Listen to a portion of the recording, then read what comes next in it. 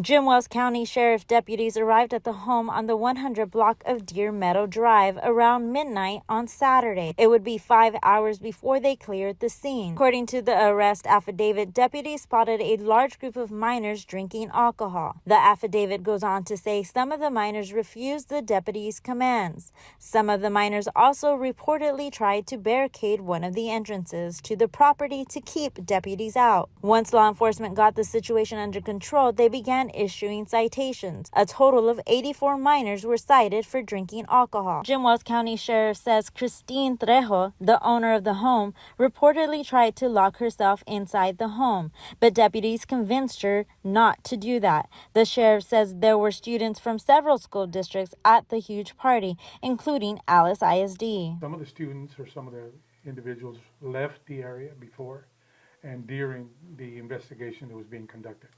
So not everybody got a citation. Christine Trejo was booked into the jail on a charge of furnishing alcohol to minors. She was released early Sunday on a $2,500 bond. The minors who were at the party were not allowed to leave until their parents picked them up.